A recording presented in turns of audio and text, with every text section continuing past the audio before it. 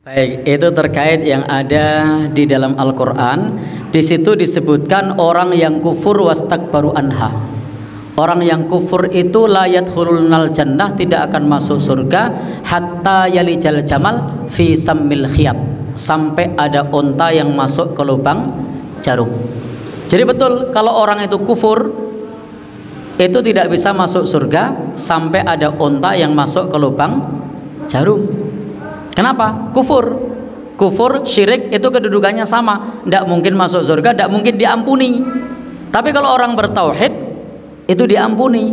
Sebagaimana dalam hadis dari Nabi Shallallahu Alaihi Wasallam, hadis Abu Sa'id Al Khudri, di situ diminta untuk mengeluarkan dari api neraka. Siapa? Mangkana fi qalbihi la ilaha illallah.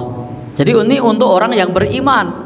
Adapun yang layat hulunal jannah mereka tidak akan masuk surga hatta yalijal jamal fi sammil khiyat sampai ada unta yang masuk ke lubang jarum itu untuk orang kafir. Jadi orang kafir betul itu tidak akan masuk surga sampai ada unta yang masuk ke lubang jarum. Nanti kalau ada orang bikin jarum yang jarumnya gede gitu ada unta bisa masuk itu bukan jarum itu replika jarum. Jadi tidak usah akal-akalan. Memang orang kafir tidak bisa masuk surga. Orang yang musyrik juga tidak bisa masuk surga. Itu nasnya seperti itu. Tapi kalau orang beriman itu diperintahkan untuk memberi syafaat nanti. Syafaat itu ada dua. Yang pertama adalah syafaatul utmah. Syafaatnya Nabi, syafaatul utmah. Dan syafaatul utmah ini diberikan pada saat manusia belum dimasukkan ke dalam surga atau neraka. Ini syafaatul utmah. Dan ini hanya Nabi yang diberi izin. Hanya Nabi yang diberi izin. Yang kedua adalah syafaatul ammah, syafaat umum. Syafaat umum ini diberikan oleh para syuhada, oleh para nabi, bahkan para malaikat ketika dia diizinkan oleh Allah. Dan syarat syafaat itu ada dua. Yang pertama adalah yang memberi syafaat diizinkan. Indahu illa biidnih yang diizinkan. Yang kedua yang diberikan syafaat itu harus diridhoi. Siapakah yang diridhoi? Nailatun.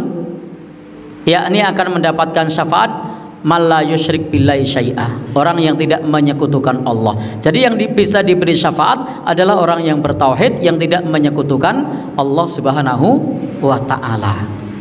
Jadi intinya bahwa ayat tadi yang tidak akan masuk surga sampai ada unta yang masuk ke lubang jarum itu untuk orang yang kafir. Kalau orang beriman itu nanti selama dia bertauhid maka ada saatnya akan dimasukkan ke dalam surga. Jadi berbeda dengan yang dipahami oleh sebagian saudara kita yang ngaji di Solo. Nah, baik. Walau alam bisawab.